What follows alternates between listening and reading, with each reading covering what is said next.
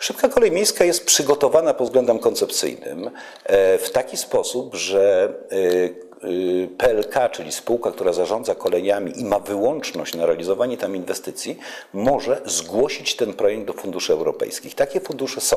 Szybka kolej miejska, czy aglomeracyjna kolej miejska w Jeleniej Górze, tak samo jak w Wałbrzychu i we Wrocławiu, jest w planach, strategiach rozwojowych województwa dolnośląskiego.